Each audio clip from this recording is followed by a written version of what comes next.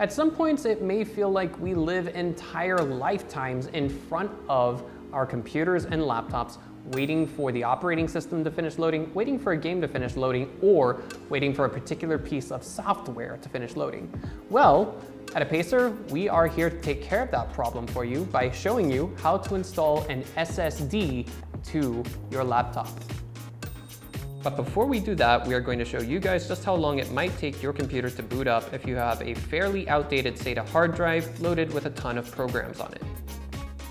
As you can see, we are using a pretty outdated laptop running Windows 7, and in this particular instance, it will take us over 80 seconds to go from cold boot to Windows 7.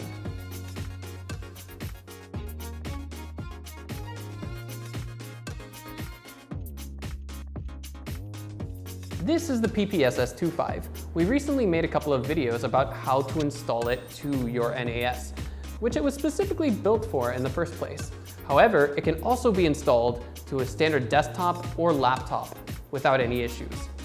Before we begin, it would be a good idea to back up any data that you absolutely positively do not want to lose to an external hard drive just in case something goes wrong.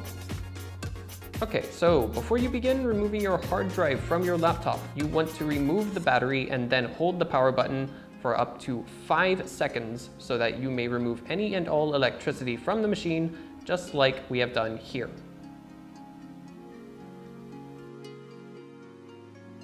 Now locate the housing for your hard drive as well as all the screws keeping the housing held in place and remove those screws.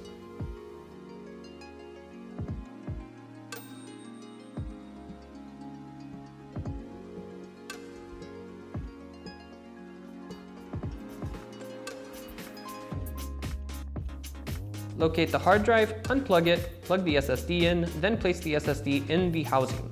Now we are going to replace the housing for the SSD, screw it back in, and then replace the battery where it belongs. Now let's do a side-by-side -side comparison of boot up times.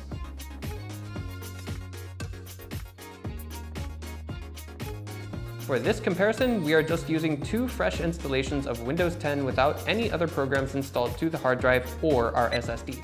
It's important to note that we have had variable boot up times for our hard drive ranging anywhere from 58 seconds to 28 seconds. In this particular instance, it only took us 38 seconds. However, it is worth noting that the more programs you install to your computer with a hard drive over time, the longer your boot up times will generally take. And this is where SSDs excel.